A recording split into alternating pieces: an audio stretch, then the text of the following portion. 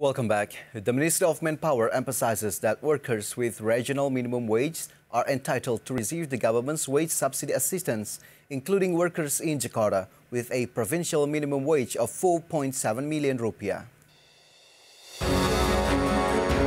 The Minister of Manpower Ida Fauziyah said workers in Jakarta with a provincial minimum wage of 47 million rupiah are still entitled to receive wage subsidy assistance or a salary subsidy of 600,000 rupiah. This is because based on the rules of the Minister of Manpower, that wage subsidy recipients are people with salaries below 3.5 million rupiah or the equivalent with the provincial or district minimum wage. DKI Jakarta yang upah minimum provinsinya senilai 4,7 juta misalnya, maka dia tetap berhak karena uh, di sini ketentuannya adalah senilai upah minimum provinsi kabupaten kota.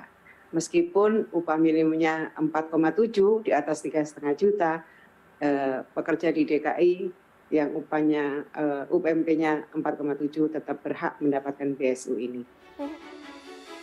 Currently, the Ministry of Manpower has handed over 5.09 million worker data from BPJS Ketenagakerjaan to be used in the distributions of wage subsidy assistance.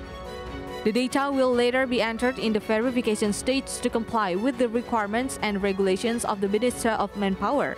After the process was complete, the funds would be immediately distributed to state-owned banks. IDX Channel reports.